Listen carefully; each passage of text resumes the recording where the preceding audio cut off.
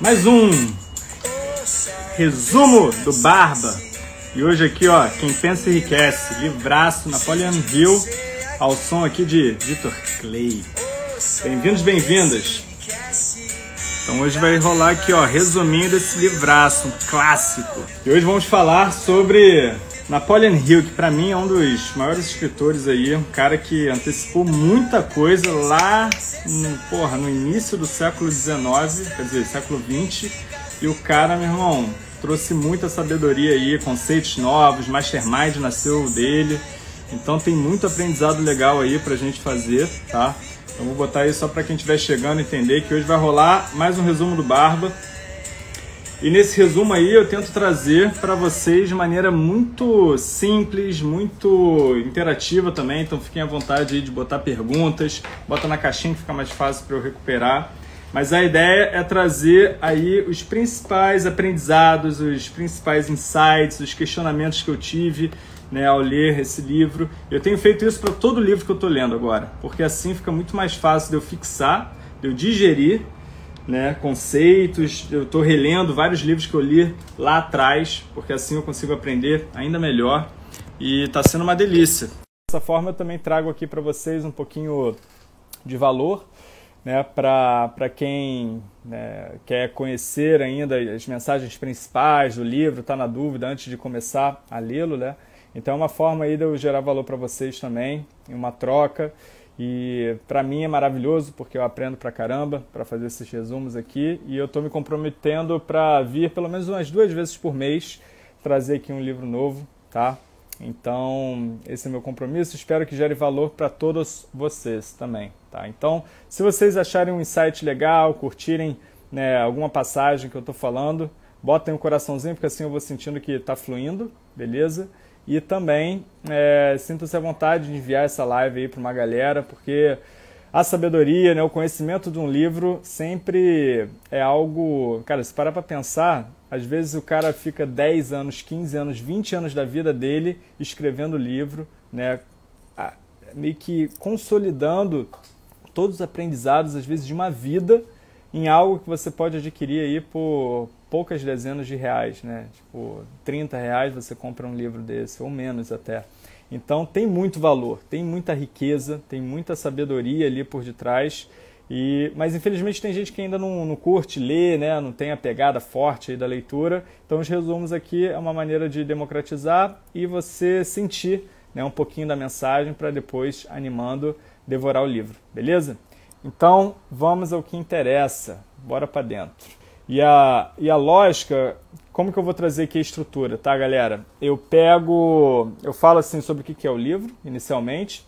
Depois disso, eu trago, eu vou discorrendo aqui os principais conceitos dos capítulos, mas eu falo de praticamente tudo, tá? É, fiquem à vontade de mandar perguntas e fazer de uma maneira interativa, porque assim a gente sempre aprende juntos. E eu questiono também vários elementos do livro, porque a gente não precisa aceitar ou concordar com tudo que os autores escrevem, né? Então esse senso crítico é muito legal. Eu trago aqui, né, críticas e, e coisas que eu não concordo, coisas que, que eu penso de forma diferente e assim é, essa inteligência coletiva, né, de confrontações e diálogos, ela se torna, ela transforma, né, o conhecimento. Então esse, esse é o objetivo aqui dessa troca, beleza? Então fique à vontade aí de trazer elementos e deixa eu começar. Então, ó, é, o que eu estou fazendo aqui é uma leitura analítica. Até é, eu fiz um vídeo explicando a diferença da leitura, é, é, da leitura mais curta, né, mais sintática, leitura analítica, leitura sinótica. Essa é leitura analítica onde eu trago mais conceitos, né, eu, eu, eu meio que me delicio ali com os principais aprendizados. Então, sobre o que é o livro? Para quem não conhece, deixa eu tirar aqui a imagem. Então, como é que funciona esse livro aqui? Ele é um livro com 12 chaves da abundância financeira a partir de um estudo aí que o Napoleon Hill fez durante 25 anos. Então, se liga, esse livrinho aqui tem sabedoria de um cara que estudou durante 25 anos as maiores mentes né, de abundância financeira da época dele. Então, grandes nomes como é, Andrew Carnegie, né, um grande é, nome do, da indústria americana, Henry Ford, para quem não conhece, né, dos carros, Thomas Alva Edison, então inventor da lâmpada, então grandes gênios aí que acumularam riqueza. Então ele trouxe essas chaves que ele são 12 chaves universais, né, que continuam super relevantes ainda para a atualidade. E essa versão específica aqui é, o Quem Pensa Enriquece o Legado. Ela é diferente da original Zassa, lá de trás, porque tem vários é, comentários, ela é uma edição atualizada pela Fundação Napoleon Hill. Tá? Então é legal que tem alguns momentos quando comentários ou coisas, exemplos, histórias que ele traz, sempre tem comentários no livro que vão contextualizando para atualizar a atualidade, vem fazendo paralelos com outros líderes e e pensadores da atualidade. Então é muito maneiro, tá? E então, o que, que é interessante assim? É, é um puta livro, sem dúvida é uma das bíblias aí para para pensamento, para mudança de mentalidade, para para é, todo mundo que fala sobre abundância financeira cita esse livro. Só que para mim tem um problema, porque ele é 99% voltado para o enriquecimento financeiro tá? Ele fala de outras riquezas, tal, mas é muito falando de grana no final do dia. E ele ignora novos modelos de estilo de vida e negócios que simplesmente não existiam naquela época. Se a gente parar para pensar no nomadismo digital, né, que é você é, o trabalho remoto, são, eram coisas que eram completamente fora da realidade naquela época. Não existia computador, então é, muitos dos exemplos e da, das mentalidades é, e, e dos conceitos que ele traz aqui é, continuam se aplicando, mas ignorando uma nova forma de trabalho muito mais contemporânea e atual. Então, para mim, isso é uma coisa que quebra, ainda mais porque é o meu estilo de vida, né, onde a abundância financeira ela é apenas uma consequência das escolhas que eu faço em relação ao trabalho não a, a força principal. E, e, tipo assim, quem não quer se tornar o próximo Henry Ford né? Quem quer viver uma vida mais tranquila, mais equilibrada, sem, sem se tornar extraordinário, vão ter momentos que vai desconectar, tá? Essa foi a minha principal crítica, assim como um todo. E perguntas interessantes para se fazer nessa leitura, né? Primeiro também, qual foi a minha intenção? Sempre legal trazer aqui a intenção por detrás do, do livro. É, para mim foi compreender melhor as atitudes mentais e comportamentos né, de quem tem abundância financeira e, e eu queria dominar alguns desses comportamentos, principalmente em relação aos meus projetos, tá? Então, esse, essa foi minha intenção. E algumas perguntas que me acompanharam aí ao longo desse, dessa leitura. Né? Como tornar o processo de autossugestão mais fluido e menos robotizado, que eu já vou falar que processo é esse, tá? que é um ponto-chave aí da, da mudança de mentalidade que ele traz, de algumas práticas. E como adaptar os conceitos para o conceito de novos ricos, né? onde a verdadeira riqueza para os novos ricos são é, tempo, experiências, qualidade de vida, flexibilidade, que eram coisas que não são abordadas nesse livro né, como, como riqueza. Né? Na verdade, eram conceitos até é, não, não populares, não, não conhecidos, não, não tinha consciência ainda sobre esse novo modelo de trabalho. É, então, e, e eu não lembro o ano que foi escrito, mas foi escrito em início, meados assim de 1900 e talvez 1950, 1940, então é só para te dar esse contexto. Então vamos lá, para os conceitos. É, capítulo 2, né? Primeiro ele faz uma introdução rápida e tal. Ele fala, a primeira chave, pensamentos são coisas. Então, ele fala aqui que uma das causas mais comuns do fracasso é o hábito de desistir diante de uma derrota temporária. É aquela famosa. Tem uma chargezinha que está o cara cavando, cavando, cavando no andar de cima e o outro no andar de baixo. E o no andar de baixo ele abandona faltando um metrinho para encontrar o ouro, tá ligado? Então ele reforça muito esse ponto, né, de que é, mais de 500 das pessoas bem-sucedidas é, dos Estados Unidos que ele conheceu disseram que seu maior sucesso aconteceu um passo além do ponto em que a derrota as havia atingido.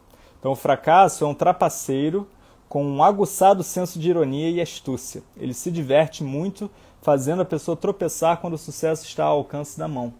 Então, ele traz aí que pô, grandes nomes, por eles man manterem a persistência, é, manterem a garra, de seguir em frente, né? aquele, aquele metrinho a mais, aquele, aquele quilômetro a mais né, na maratona, né, eles conseguiram chegar ao sucesso. Então, ontem mesmo a gente estava vendo o, o, filme do McDonald's, é, The Founder, tá lá no Netflix, filmaço, é, a história do Ray Kroc, né, o, não é o fundador original, fiquei puto com esse filho da puta, mano, porque a, galera, o Dick e o Mac, que foram que criaram o conceito do McDonald's, é, eles são os verdadeiros fundadores. Mas enfim, a história do Ray Kroc é animal, um cara né, uma puta resiliência e, e, traz muito disso daqui, de continuar seguindo em frente e tal.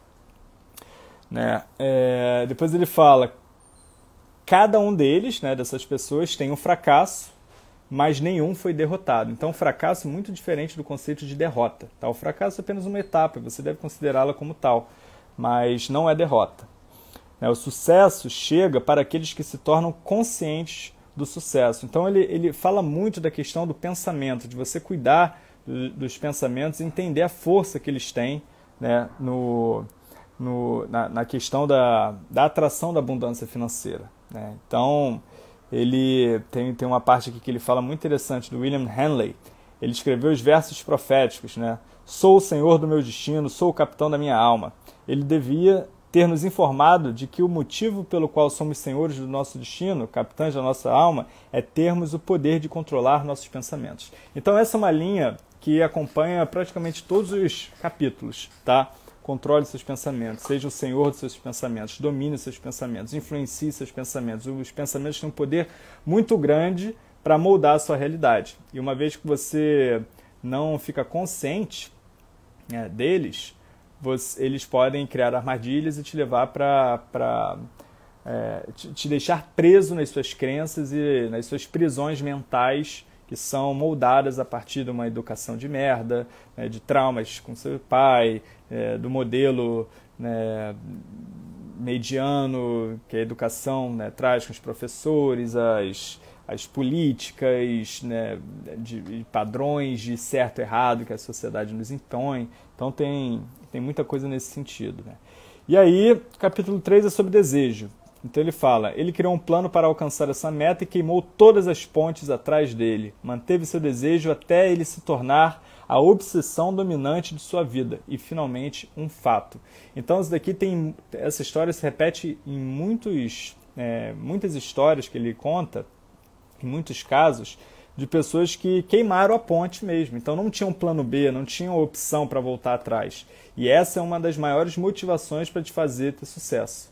E eu não sou muito fã dessa estratégia porque ela, ela não é muito sustentável. Ela é muito poderosa, mas ela traz muita dor no caminho, porque é muita insegurança e, e você não tem para onde ir. Você tem que focar naquela parada e fazer dar certo. Então, não ter plano B pode ajudar, mas eu prefiro ter um plano B, eu prefiro a regrinha do plano ABZ. Né? Você tem um plano A, que é o ponto principal onde você quer chegar.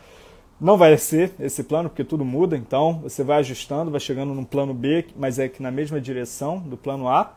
Mas você sempre tem em mente um plano Z, que é se tudo der errado, a casa cair, meu irmão, a casa explodir, tudo, ah, fudeu, você pode voltar para a casa dos pais, você pode trabalhar no Starbucks, você pode né, contar com a sua economia, você tem lá né, algo para te dar um pouco mais de, de paz de espírito para arriscar.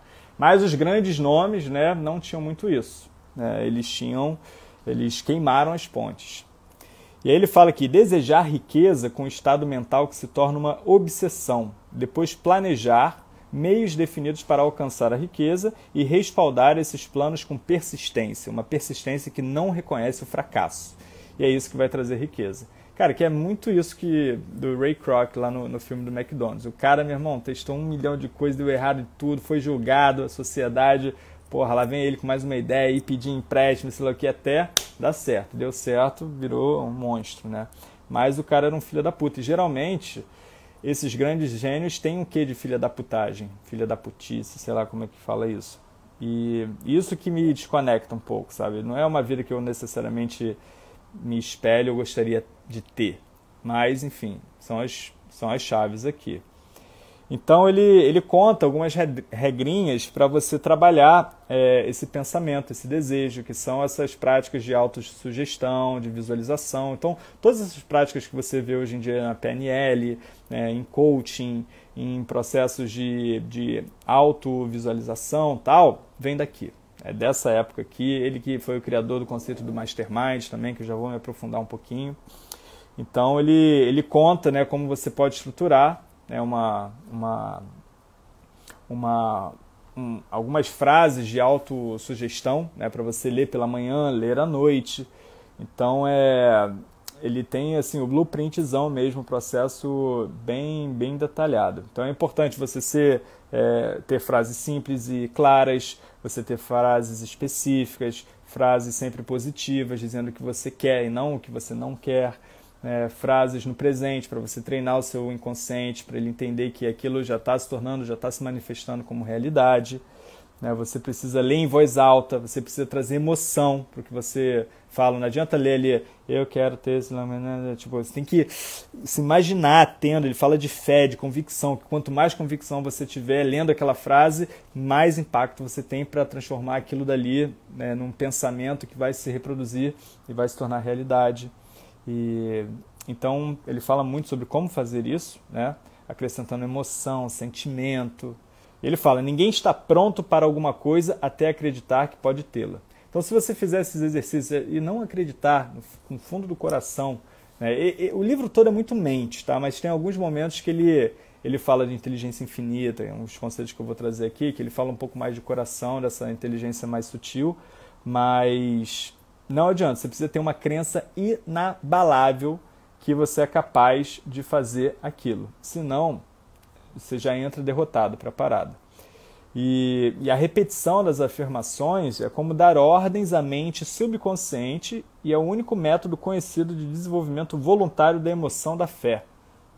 Isso foi forte, interessante. Aí você vê vários, vários métodos, né? O Emily Coué, que é um psicólogo, Coué, é, psicólogo francês né, que criou o método Coué, traz muito essa questão da autossugestão. Se você olhar para Jung, para Freud, também defendem né, essa comunicação direta, como se estivesse plantando sementinhas no seu inconsciente, é, que é o princípio de trás do segredo, dessas coisas todas aí, mas né, que a física já vem explicando né, como que está tudo interrelacionado, tá? mas não adianta ficar fazendo autossugestão só, ai, vem, vem, vem, Ferrari, eu quero você, eu quero. Não, você tem que agir, mano. Você tem que fazer plano de ação, você tem que concretizar a parada. Não adianta só ficar ali refletindo sobre, sobre o que você quer conquistar. Mas isso, agregado à ação, é poderosíssimo. E é, é uma coisa que eu faço há cinco anos, mano todos os dias de manhã. Todos os dias de manhã eu faço. Eu ainda ouço um áudiozinho de hipnoterapia que foi uma sessão que eu fiz há três anos e eu ouço todos os dias. Já ouvi aí 900 vezes nesses últimos anos. E é um áudio de 17 minutos que me traz uma porrada de frases de autoafirmação, frases de coisas que eu quero. E é engraçado que há três anos atrás, vários valores e desejos que eu tinha continuam os mesmos. Então é legal que isso vai se repetindo, eu vou conquistando essas coisas. E, e é, é, muito mágico mesmo a parada. É, funciona, mas você precisa trazer isso para ação, para metas concretas, para é, seu, seus projetos, é, o cronograma de coisas que você está tá se comprometendo a fazer, porque senão é tudo punhetagem, aí não adianta nada. E aí vem para o capítulo 5 que ele fala mais ainda sobre autossugestão, tá? E ele fala: lembre-se do que eu disse sobre a sua mente subconsciente. Nela parece um jardim fértil, no qual erva daninha cresce se não forem plantadas as sementes de safras mais desejáveis. Então, se você não botar coisa boa na sua cabeça, na sua mente, né, se você não trabalhar é, seus pensamentos de forma positiva, vai nascer merda. Não tem como não nascer, porque aí é o medo do corona, é o medo de ser mandado embora, é o medo de ser julgado, sei lá o quê, é o medo, medo, medo, medo, medo. Você vive numa bolha de medo e aí, negão, sua vida só vai ser desgraça, só vai ser medo, porque você está sempre com medo de viver. E quando você fica com esse medo constante ao seu redor, não tem como atrair coisa boa, vibração positiva, porque você está sempre vibrando numa, numa negatividade, você atrai gente vitimi, é, vitimista, você atrai gente invejosa, você atrai um monte de coisa que está vibrando nessa mesma vibração pesada, sólida demais. Então você tem que mudar isso, tem que regar bem, cuidar bem do seu jardim. Legal, ele fala sobre conhecimento especializado também. Ele, ele diz, né, conhecimento só é poder potencial, só se torna poder quando, quando é organizado em planos definidos de ação e direcionamento para um fim definido. Então é o que eu falei, né?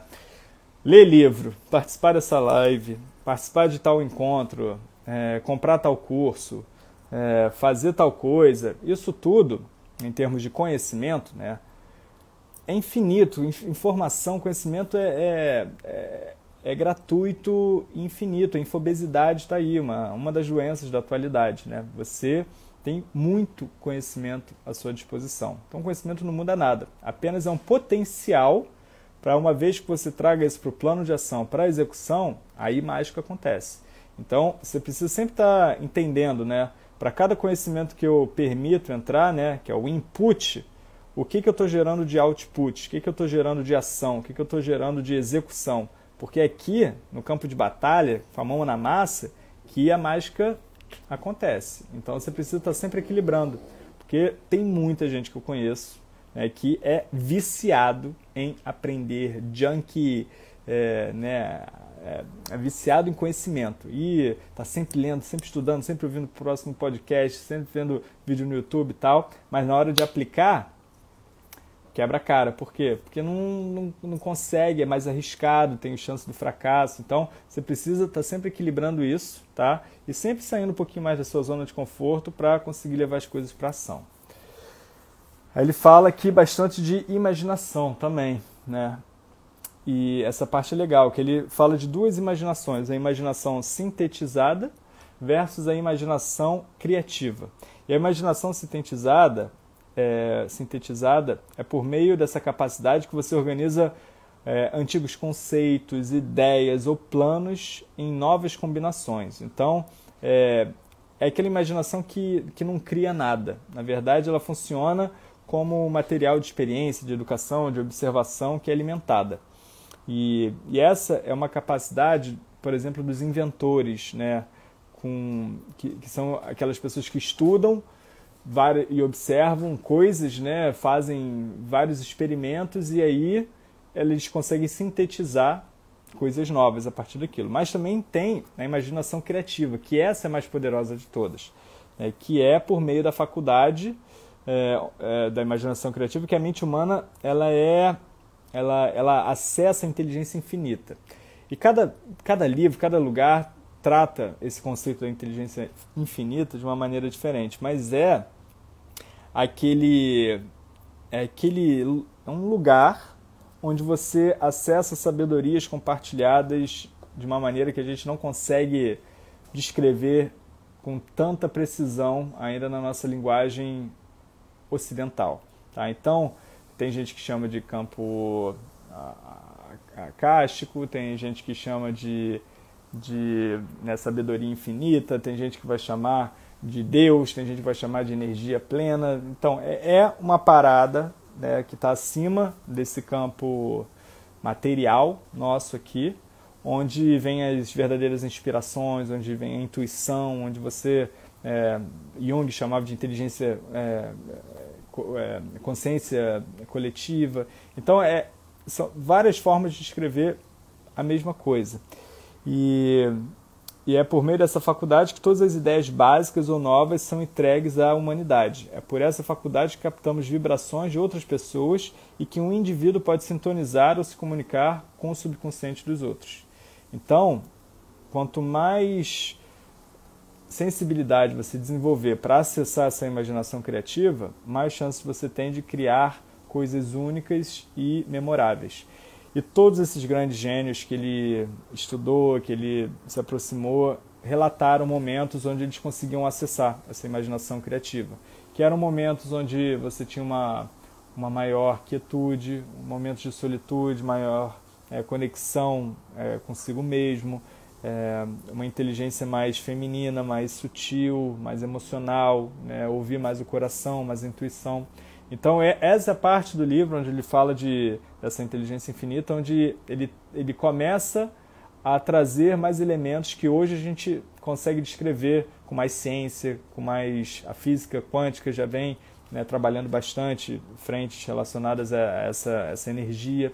essa interconexão, esse relacionamento entre todos os seres e coisas. Né? O yoga fala muito disso há 5 mil anos. Né? Yoga representa união, então está tudo conectado. Então é, é uma mesma área que hoje a gente tem um pouco mais de recurso para escrever, mas que ele traz aqui no livro. E ele fala no capítulo 8 sobre planejamento organizado. E isso eu achei muito legal. Aqui é uma frase que ele traz. Conte ao mundo o que você pretende fazer, mas antes mostre. Que é aquela ideia né, de. Tem muita gente que fala pra caramba. Isso aqui é um, é um, é um debate até, porque quanto mais você fala sobre a sua ideia, mais chances você tem de pessoas conectarem, contribuírem né, e trazerem elementos, seja de alguém que já está fazendo coisa parecida de conectar, seja novas sincronicidades aparecerem. Então tem o seu lado positivo mas também tem o lado de um monte de olho grande, pessoas invejosas, pessoas que, que tentando te proteger vão falar coisas que podem te magoar, né? familiares, colegas que não entendem o movimento que você está fazendo. Então tem, tem prós e contras né? de você sair contando para o mundo o que você pretende fazer, uma mudança muito drástica em relação aos conceitos que as pessoas pensam de carreira ou de estilo de vida ou de decisão de vida, ou de decisão de família tal. Mas nada melhor do que você ir lá fazer. nada melhor do que você ir lá mostrar resultado e depois contar para o mundo que você fez. Então é isso que ele traz aqui né, como sugestão. Aí, nesse momento, ele aborda é, as questões aqui relacionadas a, a Mastermind, né?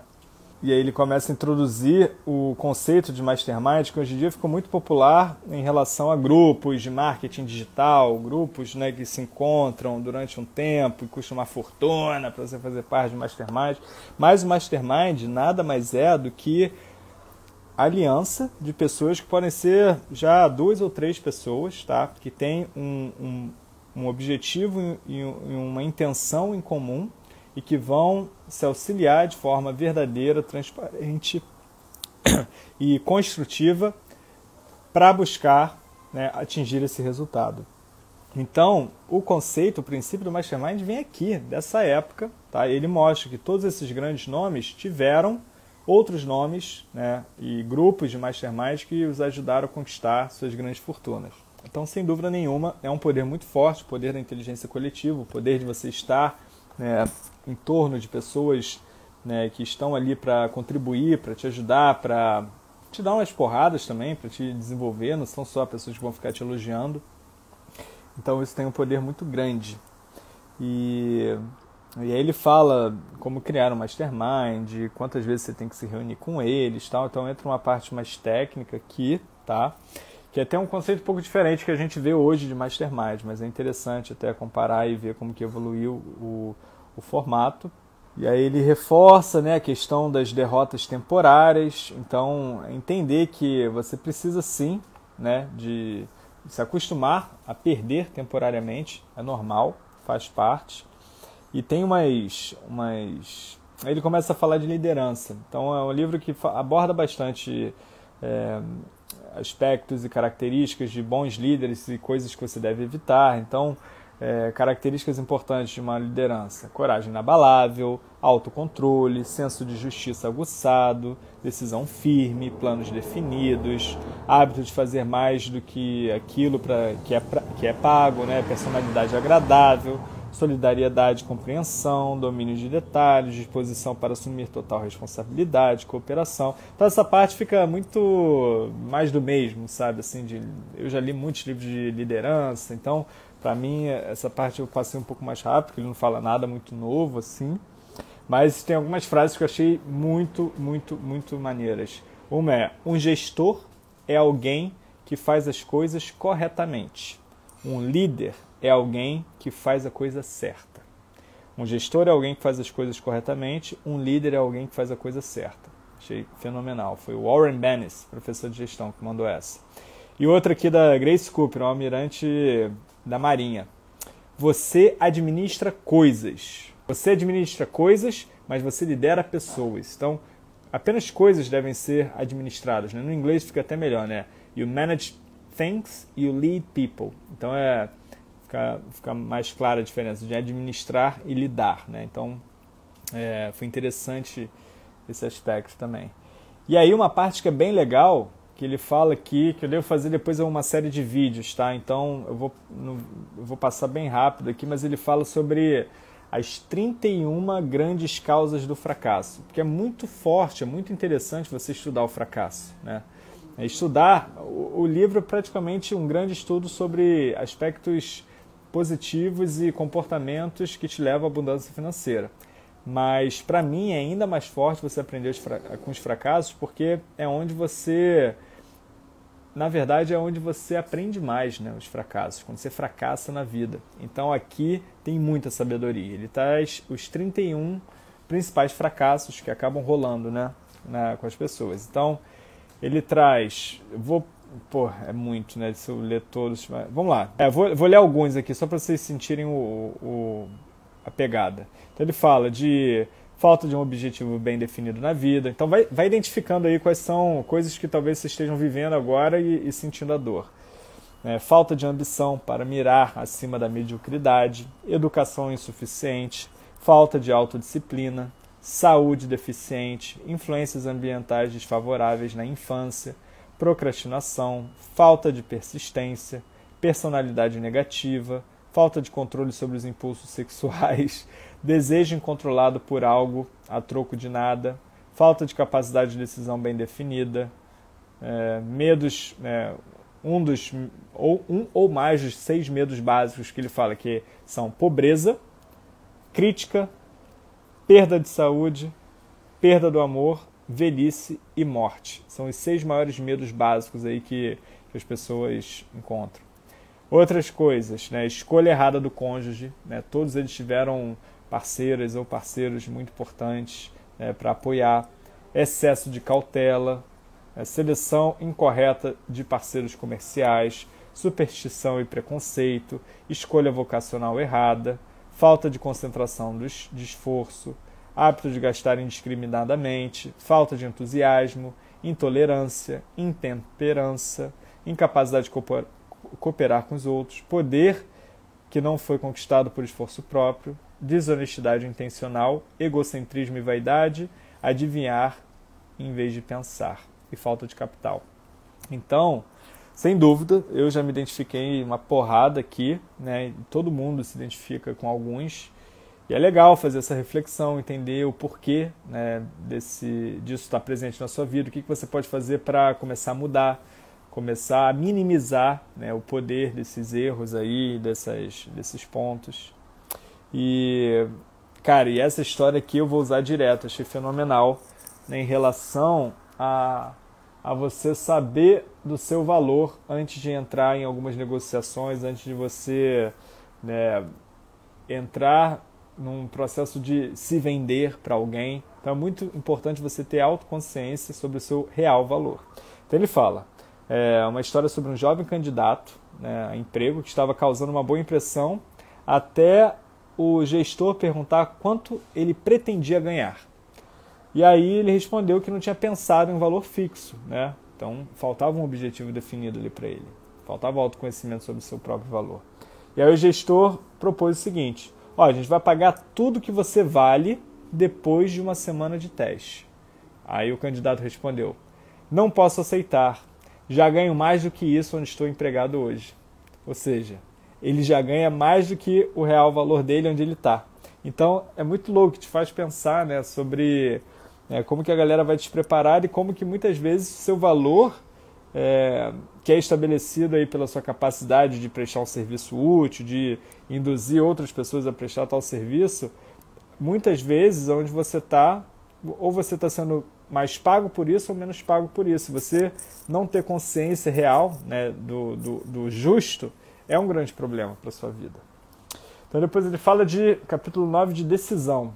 Ele fala, análise de mais de 25 mil homens e mulheres que viveram um fracasso revela que a falta de capacidade de decisão estava perto do topo da lista das 31 principais causas do fracasso.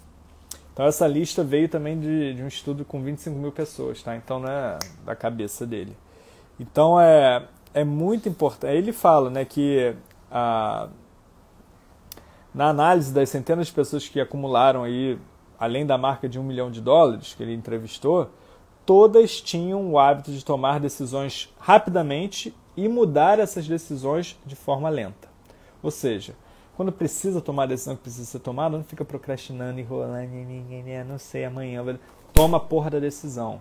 E segue firme, porque não pode ficar mudando de, de galho em galho que nem um macaquinho perdido.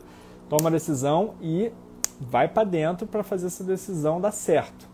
E só muda quando já tentou o máximo, já teve ciclos de, de tentativa e erro, já teve né, erros, tem, eh, fracassos temporários e só depois né, que assim muda de decisão. Então esse foi, foi um ponto bem interessante. Né, e, e ele fala aqui que opiniões são os bens mais baratos da Terra. Todo mundo tem uma coleção delas aí pronta para quem para dar para quem quiser ouvir e tal. Então, se você é muito influenciado pela opinião dos outros quando toma decisões, você nunca vai ter sucesso né, em uma empreitada complexa, né? muito menos na transmutação do seu desejo em dinheiro. Então, galera, opinião, orientação, conselho e tal, por isso que tem aqueles.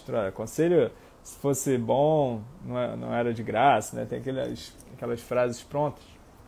Mas é verdade, porque nunca ninguém tem o contexto claro do, da sua vida, da, da onde você está, né, da sua tomada de decisão, só você, e nem você ainda tem consciência de tudo que está acontecendo. Então, as pessoas muitas vezes saem distribuindo conselhos sem mesmo ouvir, sem mesmo se inteirar, sem mesmo pesquisar, perguntar, saber como que está acontecendo as coisas na sua vida. Então, cuidado, tá?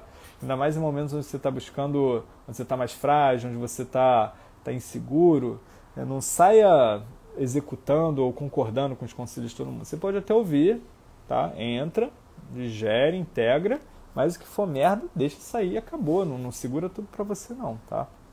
E aí ele fala aqui, ó, ah, isso daqui é foda, cara. Então, ó, amigos e parentes próximos, mesmo sem ter a intenção, muitas vezes nos prejudicam com opiniões e às vezes com a ridicularização, pensando que são engraçados. É, isso é foda, que isso pode acabar com sonhos de pessoas, e ainda mais quando a gente é mais introvertido, quando a gente faz um esforço monumental para chegar lá e compartilhar né, um, uma ideia, um sonho, né, um desejo é, com, com um companheiro, um cônjuge ou com seja lá quem for que a gente confie e recebe uma piada, uma ridicularização, é, é muito mortífero mesmo. E aí milhares de homens e mulheres carregam complexos de inferioridade durante toda a vida porque uma pessoa bem intencionada, mas ignorante, destruiu a sua confiança com opiniões ou ridicularização. Então cuidado, galera, cuidado com quem você compartilha os seus sonhos, né? Então o Marcelo mandou um áudio um dia desse lá na comunidade, né, falando exatamente sobre esse assunto e então encontrar o equilíbrio aí e compartilhar os seus sonhos sim, é importante, mas tenta, ainda mais no início, se você está no meio dessa transição, se você ainda não está com muitos resultados, compartilha com pessoas que você confia, que você sabe que vão te apoiar, que vão ser construtivas, que vão te desafiar, né, que são pessoas do seu mastermind, da sua comunidade, do, pessoas que você sabe que estão vibrando na mesma energia, na mesma vibração, tá? Ele fala que as marcas da verdadeira sabedoria são modéstia, e silêncio. Então aquela galera que fala demais, é, eu sou isso, eu sou aquilo, é, é. falta de humildade pra caralho, geralmente não tem muita sabedoria ali. Capítulo 10, né? E os capítulos são as chaves, tá? Então são 16 capítulos, mas ele fala de 12 chaves, e aí essa chave aqui é a persistência, né? que a gente já falou. Então ele diz, né? Aqueles que cultivam o hábito da persistência parecem estar protegidos contra o fracasso. E é verdade, cara. É impressionante. Não importa quantas vezes sejam derrotados, finalmente chegam no topo da escada. Vai ler todas as biografias de grandes nomes, né? vai ver os filmes, vai... é sempre a mesma. Você não conhece um cara incrível, assim, top, sensacional, é, desses gênios que não fracassou, que não tomou porrada pra caralho, que não chegou no fundo do poço. Todos eles. Então, o que, que eles fizeram seguir em frente, os diferenciaram das pessoas que, que chegaram no poço e ficaram lá? A persistência, a crença inabalável de que, porra, vai dar certo, eu ainda vou conseguir. Então, é uma força muito grande. Vários livros né, apontam em comum essa característica entre pessoas de sucesso, desde esportistas, bilionários, artistas, celebridades, e o Zaralha 4, né? Tem um livro que se chama Garra, que fala exatamente né, só sobre essa característica. Então, tá tudo no mesmo pacote. E aqui ele fala, né? É, aqueles que conseguem aguentar são recompensados por sua persistência em troca e em troca alcançam o objetivo que estão perseguindo. Mas isso não é tudo. Eles recebem algo infinitamente mais importante que a compensação material, que é o conhecimento de que todo fracasso traz nele a semente de uma vantagem equivalente. Então, todo fracasso tem uma sementinha, por pior e mais profundo e mais doloroso que ele seja, tem uma semente, um potencial de acerto e crescimento com aquilo dali. Então, se você vai acumulando uma porrada de fracasso e vai acumulando essas sementes, mas você rega, você desenvolve essas sementes, você planta o seu jardim a partir desses aprendizados, você tem muito mais chance de criar algo incrível aqui do lado. Só que se você fica com medinho né, de fracassar numa bolha protegido do mundo, no, na sua grande ilusão cor, ilusão cor-de-rosa, ferrou. Tu vai ficar na ilusão pro resto da vida e não vai mudar. Porque você acha que fazendo a mesma coisa você vai mudar? Né? Que nem Einstein dizia. Tem gente que fala que não é essa frase, mas enfim, né? Insanidade é você esperar resultados diferentes fazendo a mesma coisa. Então, mané. Aí ele fala também, depois de ter analisado milhares de pessoas, ele descobriu que a maioria das ideias já nasce morta. Para crescer, as ideias precisam do sopro da vida injetado por meio de planos definitivos de ação imediata. A hora de cuidar de uma ideia é no momento que ela nasce. Cada minuto de vida dá a ela uma chance maior, cada minuto de vida dá a ela uma chance maior de sobrevivência. O medo da crítica é o que mata a maioria das ideias que nunca chega ao estágio de planejamento e ação. Que é aquela pegada, né, de você compartilhar ideia e tal. Mas a ideia é, é muito fácil ter boas ideias, tá? A parada mesmo é a execução. Mas tem ideias que já recebem tanta crítica, né, dependendo de com quem que você compartilha, que elas nem têm chance de, de, de viver. Né? Elas já nascem e morrem ali na crítica. Então, cuidado, né? novamente, para quem você compartilha suas grandes ideias. Isso é legal também, cara. Foda. Se você parasse né, as primeiras 100 pessoas na rua, se fizesse esse teste, esse é um teste até que eu quero fazer, cara. Tá aí. Pô, vou fazer um vídeo desse, vai ser irado. Vou parar 100 pessoas na rua né, e vou perguntar o que, que elas querem na vida, o que, que elas mais querem na vida. Ele diz que 98% diria que não sabem. E essa estatística é legal, porque ele escreveu um outro livro que para mim é o melhor livro dele, sem comparação, total, mil vezes melhor do que esse daí, né, do Quem Pensa Enriquece, que é o é, Mais Esperto que o Diabo. Então ele fala desses 2% que são mais conscientes, que saíram dessa ratoeira, dessa influência negativa dos maiores aliados do diabo, né, que ajudam o diabo na sua missão de alienar as pessoas no mundo, que são pais, professores, padres. Né? Eu complemento com os políticos, com os publicitários, né, com os patrões. Então ele, ele fala dos patrões também. Então, é os seis peixes que eu falo que fodem com a nossa vida. Esse livro é fenomenal. Vou, vou Vou fazer um resumo aqui sobre o, o Mais Esperto que o Diabo, muito bom. Mas enfim, é...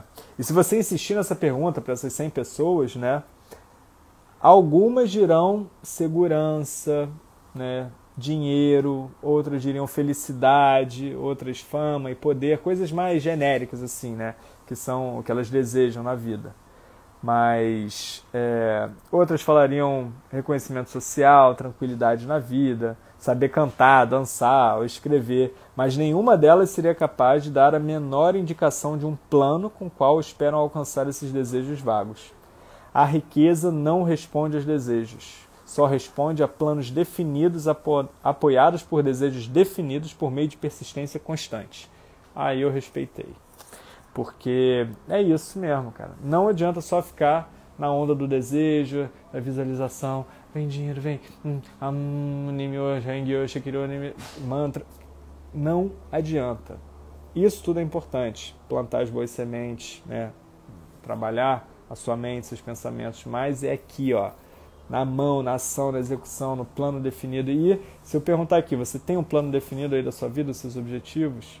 Você tem clareza do que você quer conquistar nos próximos três meses, nesse ano? O que vai fazer de 2020 um puta ano para você, independente de tudo que está acontecendo aí que, que, vai, o que, que deve acontecer em termos de vida, de projetos, de conquistas, nos próximos 5, 10 anos aí para você estar tá orgulhoso do que você está construindo. Você tem clareza, tem anotado isso, você lê isso, você, você tem rituais aí para reforçar isso? Provavelmente não. 98% não. Né? Talvez você faça parte dos 2%, parabéns. Isso é muito bom. Mas a grande maioria não. E aí ele fala como desenvolver persistência, tal. E deixa eu ver como que, e deixa eu dar uma acelerada. Ele dá assim, ele foca aqui no poder do mastermind, então ele fala de três tipos de conhecimento, de inteligência infinita, né, que é essa fonte de conhecimento que pode ser acessada com a ajuda da imaginação criativa, pela mente subconsciente, né, como a gente, como ele descreveu, então muito conectado a esse poder da fé, da autossugestão, da imaginação real.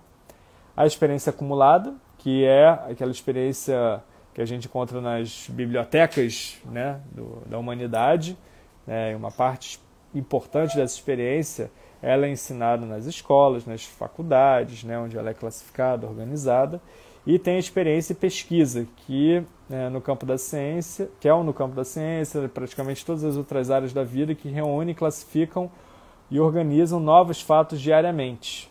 Né?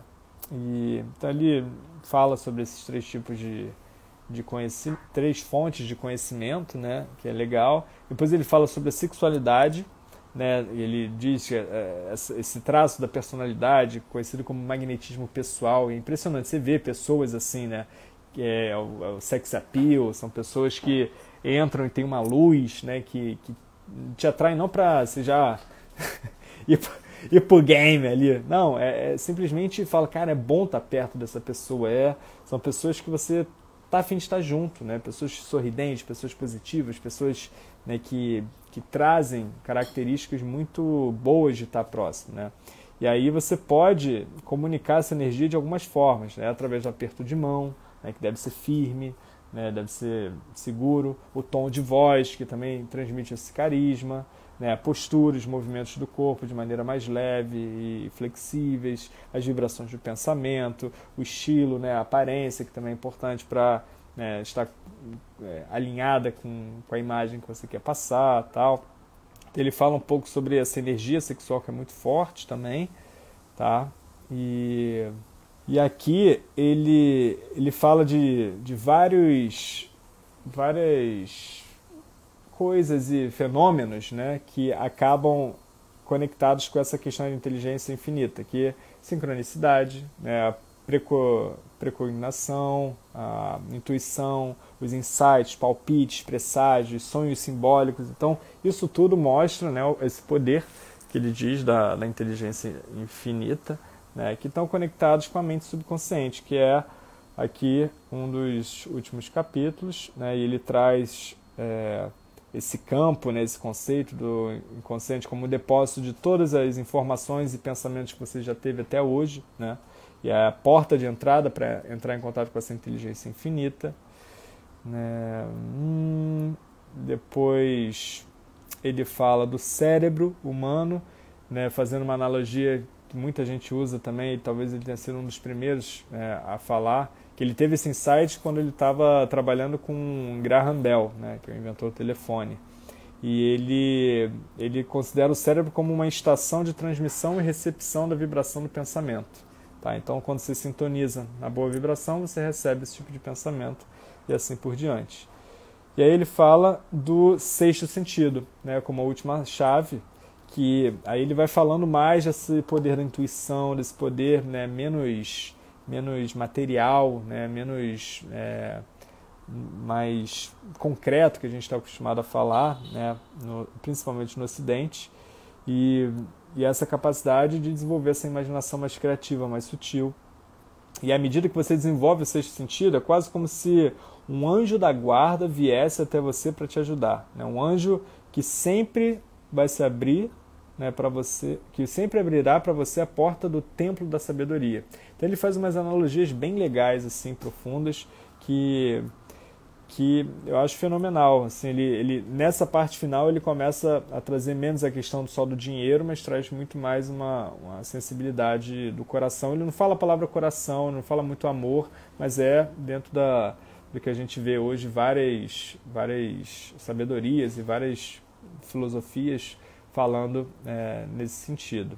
E aqui ele traz, até fiz um videozinho, deve sair e de repente sai amanhã, tem que ver, dos conselheiros invisíveis, que ele disse que tinha um, conselho é, que era formado no dele né, por Emerson, Penny, Edison, Darwin, Lincoln, Burbank, Napoleão, né, o Henry Ford e o Carnegie, e toda noite, durante muitos anos, ele fazia uma reunião de conselho imaginário com esse grupo, né, para receber é, conselhos e, e, orientações. E eu, eu, comecei a fazer isso também, irado. Depois eu conto para vocês no vídeo quem tá. Mas tá Leonardo da Vinci, tá o Tim Ferriss, tá o Richard Branson, tá a minha mãe, eu botei nesse conselho, tá é, Sócrates, é, Epiteto, tá Gaia também. Então é, é muito legal.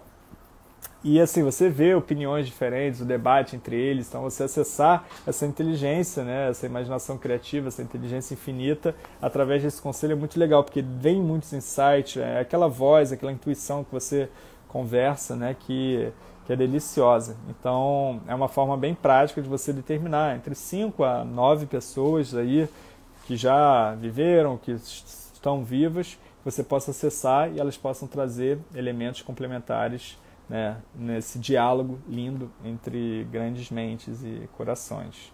E aí ele fala dos seis fantasmas do medo, né, que, que é basicamente você tem que trabalhar três grandes inimigos que você vai ter que afastar o tempo todo, que é a indecisão, a dúvida e o medo. Né?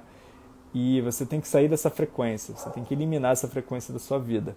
E ele fala desses seis medos básicos, né? o medo da pobreza, o medo da crítica, o medo da doença, o medo da perda do amor de alguém, o medo da velhice e o medo da morte, que são os maiores medos, né? os mais comuns, os mais é, viscerais. E, e aí ele, ele começa a falar sobre cada um desses medos, né? como você pode minimizá-los.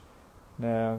E ele fala né, que os impulsos do pensamento começam a se traduzirem em seu equivalente físico na mesma hora. Então o pensamento é tão forte que se você né, tem pensamentos medrosos ou pensamentos negativos, isso se manifesta no seu corpo, tá? Então, mesma coisa com os positivos. Então, você tem que moldar seus pensamentos cada vez mais numa vibração do amor e positiva.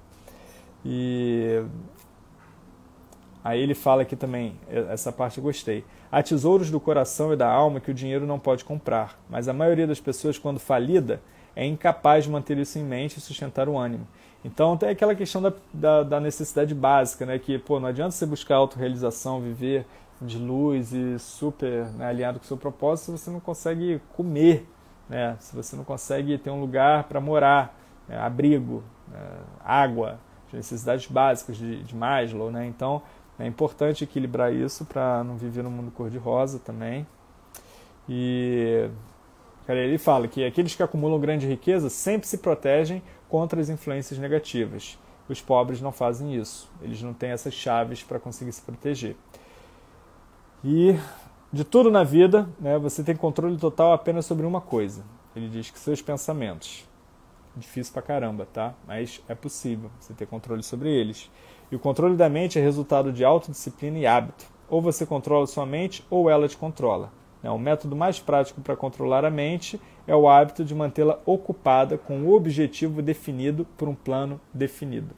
Então isso eu achei legal, porque se você não tem objetivo, se você não tem foco, você fica ocupando sua mente de merda, pensando no mundo do e se, e quando eu, é, e você imagina um mundo cheio de merda, um monte de problema, então é, é importante você ocupar a sua mente, né? daí vem a expressão também né? Quando você não está fazendo nada, você planta um monte de sementinha negativa na cabeça. E, e aí. Hum, tá, vários, ah, vários álibis. E se te fodem, né? Isso eu acho que foi o que eu botei. Mas o mais importante de todos é: e se eu tivesse coragem de me ver como realmente sou? Descobriria o que estava errado em mim e corrigiria. Então, para quem vive no mundo do e se, e se essa live não ficar gravada, e se sei lá o que, vai ficar assim, tá? Vou botar isso, Silvana, não se preocupa. Mas só pensando em coisas no futuro tal, pensa num e se que vai te ajudar, que é e se eu tivesse coragem de me ver como realmente sou, descobriria o que estava errado em mim e corrigiria. Então, que é a base aí do desenvolvimento pessoal e do, do crescimento pessoal, né? Galera, é isso. Falta 1 minuto e 30 para fecharmos essa live. Espero que tenha gerado valor. É um livro que eu aconselho, bem legal, mas acima de tudo, aconselho o autor, né, que é um cara com uma história incrível, Napoleon Hill, né, pesquisou muitas pessoas é, de sucesso, então ele conseguiu compilar. É um Tim Ferriss da época lá, né, mais ou menos. Mas não é um livro que te conecta emocionalmente, que você vai rir, que você vai chorar. É um livro técnico, né, que vai te trazer muita sabedoria. Né? Eu acho que o Mais Esperto que o Diabo é mil vezes melhor do que esse, mas esse vale a pena também, tá bom? E espero que vocês curtam esse projeto aqui. Obrigado aí por essa troca. Isso daí, para mim, é muito rico, porque eu leio o livro, depois faço o resumo, depois trago para vocês aqui. Então, eu vou adquirindo esse conhecimento de verdade. Para mim, é ótimo. Aconselho vocês a fazerem coisas parecidas também. Melhor forma de digerir né, o conteúdo de um livro. E né, o próximo aí deve ser sobre sincronicidade, né, que foi o livro que me ajudou na minha mudança, na minha transição de carreira, um dos livros mais importantes da minha vida. Então eu reli, acabei de reler hoje, vou trazer para vocês e espero que nos próximos dias, nas próximas semanas eu, eu faça mais uma dessa, beleza? Tamo junto, galera. Boa noite a todos, obrigado pela participação e vamos para dentro aí na jornada. Valeu!